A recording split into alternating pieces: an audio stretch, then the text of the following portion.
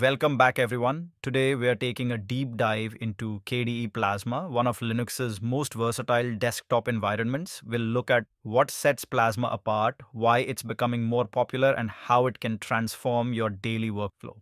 Let's get started. KDE Plasma delivers a modern, polished interface right out of the box. You get a clear panel with intuitive menus, crisp icons, and a customizable system tray. But it doesn't stop there plasma layers on subtle transparency, drop shadows, and animated transitions to create a sense of depth. For example, the slide back animation gently glides your windows off screen when you switch between tasks, while shade rolls up windows neatly into their title bars, saving space without hiding your apps completely. These details might seem small, but they add up to a cohesive experience that feels both elegant and efficient. Want to change Plasma's look? The theme installer lets you browse hundreds of community created styles in seconds. From sleek, dark modes to vibrant color bursts, you can preview themes live before applying them. Mix and match window decorations, icon sets, and cursor themes until you find your perfect combination. And because all components are modular, you can install individual parts without affecting the rest of your setup. It's a playground for anyone who enjoys personalizing their desktop. Under the hood, Plasma offers granular control over virtually every aspect of your desktop.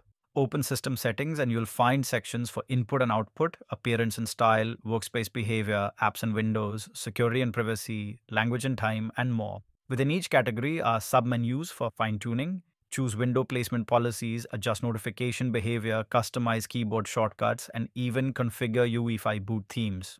If you prefer a streamlined interface, stick with defaults. If you love tweaking every pixel, Plasma gives you all the tools you need.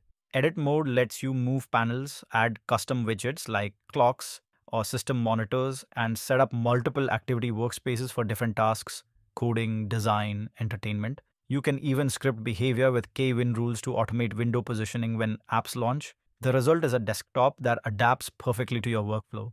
Once perceived as heavyweight, Plasma has undergone extensive optimization. In virtual machines with just 3 gigabytes of RAM and 2 CPU cores, it remains snappy and responsive. On real hardware, animations run at a consistent 60 frames per second, and background memory usage stays modest. The KDE team regularly benchmarks and profiles resource usage, resulting in a stable environment that rarely hiccups. Whether you're on a high end desktop or a budget laptop, Plasma scales gracefully to your hardware. From the moment you log in, Plasma feels uh, polished. Key features like screen recording, virtual desktops, and global search are available without extra steps. Notifications are clear and actionable. Power management profiles intelligently adjust performance and battery use. And if you ever want to reset to stock, a single click restores the original layout and settings. This out of the box polish makes Plasma ideal for both newcomers and seasoned enthusiasts who want a hassle free experience ready to try KDE Plasma. Here are some top distributions that ship Plasma by default KDE Neon, featuring the latest Plasma releases directly from KDE.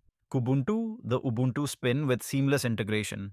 Fedora KDE Plasma Desktop for cutting edge packages.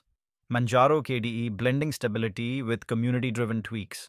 Garuda Linux Dragonized with eye catching custom themes and performance tweaks. That wraps up our deep dive into KDE Plasma.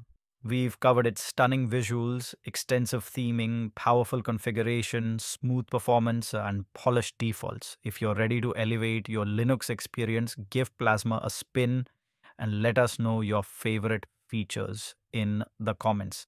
Don't forget to like, subscribe, and hit the bell icon for more Linux deep dives. Thanks for watching and see you next time.